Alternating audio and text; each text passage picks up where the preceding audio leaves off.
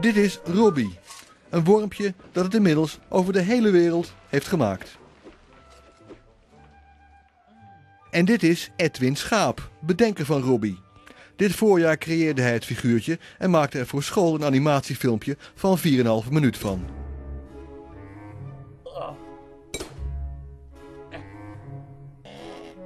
Het filmpje is gemaakt op de computer, maar Edwin creëerde Robbie eerst met de hand, gewoon met papier, potlood en stift.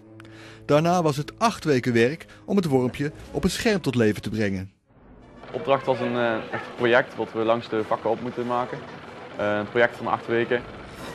En uh, het project was dus trucfilm, maak een eigen vrije animatie naar eigen techniek.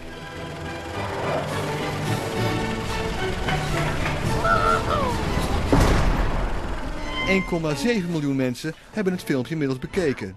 En er staan bijna 7000 lovende reacties op YouTube. Het zit goed in elkaar. Het is een uh, mooi afgerond verhaal in een korte tijd verteld.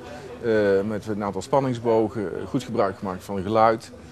Dus uh, al met al een mooi afgerond product waar hij trots op kan zijn.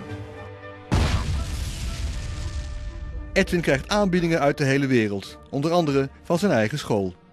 Dit is iets wat jongelui aanspreekt. Kun jij ook een ja, een voorlichtingsfilmpje maken voor onze website, uh, waarmee we meteen uh, leerlingen duidelijk kunnen maken wat hier gebeurt. Uh, ook leerlingen trekken en hij is er nu mee aan de gang.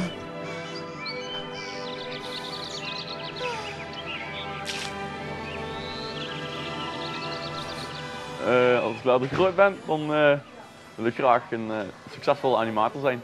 Die vooral 3D-animaties maakt voor kinderen. Ja. En met Robbie, daarmee loopt het helaas niet goed af.